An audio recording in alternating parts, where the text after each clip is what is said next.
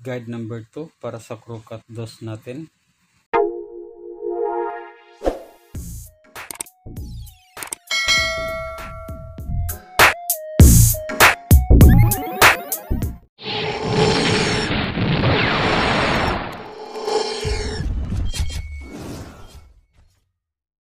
Itira lang natin tong part na to, wag nating gagalawin.